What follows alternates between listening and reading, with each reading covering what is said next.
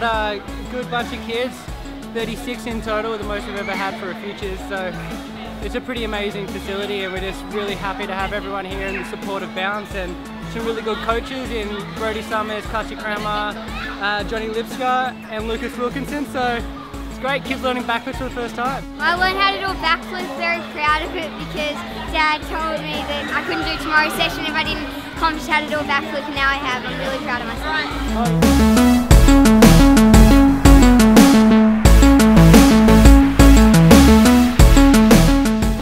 Session's going real well. We got a bunch of kids here learning how to do D-spins. A lot of them didn't understand the difference between D-spin and cork. Now they're starting to figure it out for themselves, which is really good. Uh, a few kids just learning their first flips, things like that. There's a lot of progression going on here. It's really good to see. I'm stoked about it.